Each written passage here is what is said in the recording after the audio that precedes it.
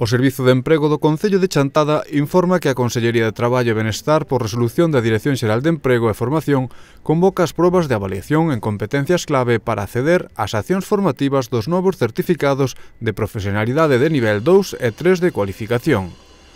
As competencias claves son os requisitos formativos que se necesitan para participar nos cursos correspondentes aos novos certificados de profesionalidade de nivel 2 e 3. Estas competencias podense demostrar de formas distintas.